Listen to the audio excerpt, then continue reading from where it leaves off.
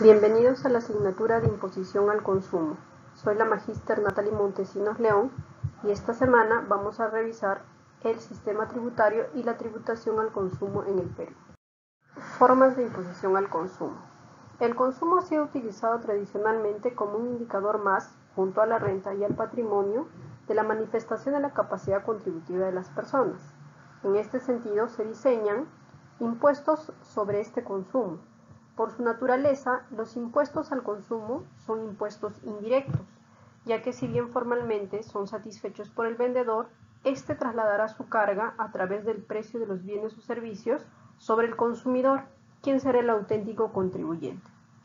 Entre las formas de imposición al consumo encontramos al impuesto general al consumo y a los impuestos específicos al consumo, que como su mismo nombre lo dice, unos aplican sobre toda la generalidad de consumos establecidas en la norma y otros aplicados únicamente sobre algunos consumos específicos que la norma establezca. El impuesto general a las ventas, establecido en nuestro país, es un impuesto indirecto al consumo que se aplica sobre el valor agregado de cada una de las etapas de la cadena de producción y distribución de bienes y servicios.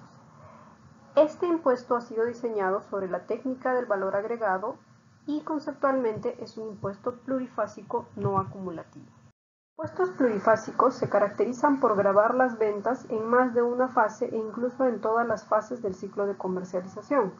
Los impuestos sobre el valor añadido no recaen sobre el total de las ventas como todos los demás, sino sobre la diferencia entre el importe total de las ventas y el de las compras efectuadas durante el mismo periodo.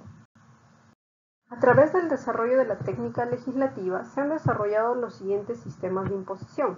Por una parte tenemos la imposición a la riqueza, que aplica sobre la riqueza adquirida y la riqueza poseída, teniendo como ejemplos el impuesto a la renta y el impuesto predial.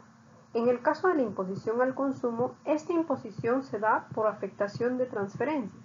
En el caso del Perú tenemos como ejemplos al impuesto general a las ventas y el impuesto selectivo al consumo. A lo largo de la presente unidad vamos a analizar las características fundamentales del impuesto general a las ventas, haciendo una revisión de su ámbito de aplicación, de los sujetos afectos al pago, de la base imponible, de la determinación del débito del crédito fiscal y de la tasa aplicable. En nuestro país se encuentran grabados con el impuesto general a las ventas la venta en el país de bienes muebles, los contratos de construcción, la prestación de servicios en el país, la primera venta de inmuebles efectuada por el constructor, la importación de bienes y la utilización en el país de servicios prestados por no domiciliados.